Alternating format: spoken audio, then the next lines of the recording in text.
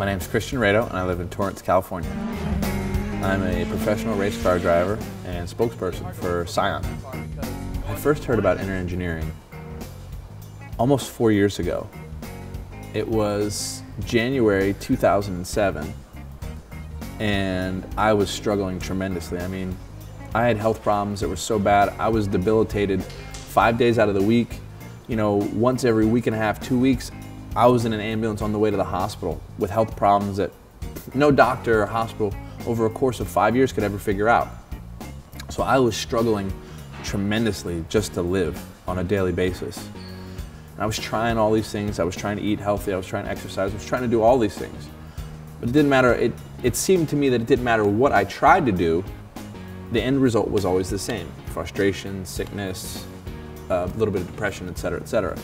And I was genuinely struggling just to, just to survive. Well, at that time, that's when this good friend of mine handed me this flyer for inner engineering, and I've, you know, I was a 31 year old race car driver at the time. I had no clue what meditation was, spiritual process, or anything like this, or what Isha Foundation was.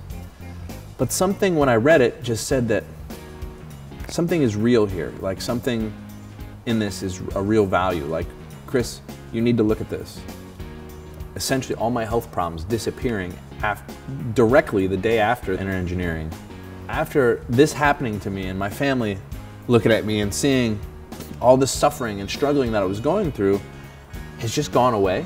And now our son is, is living this life that is just a joy to see. Like he is just thriving every second of his life. Shortly after that, almost every single family member, including my parents and three of my four sisters, have been through the inner engineering program and are happier, healthier for it. I can't see living my life without inner engineering and being able to experience life and, and its and its beauty and its joy like I've never been able to before. Inner engineering was probably the best investment I've made in my life by far. Life gets easier and easier every day. Everybody around me keeps getting older. I get younger every day.